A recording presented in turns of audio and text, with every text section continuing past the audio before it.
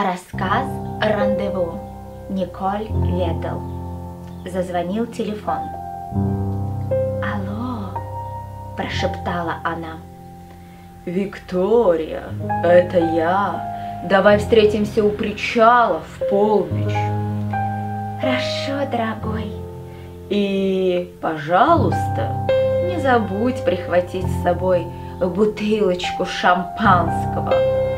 «Не забуду, дорогой», — сказала она. «Я хочу быть с тобой сегодня ночью». «Поторопись, мне некогда ждать», — сказал он и повесил трубку. Она вздохнула, потом улыбнулась. «Хм, «Интересно, кто это?» — сказала она.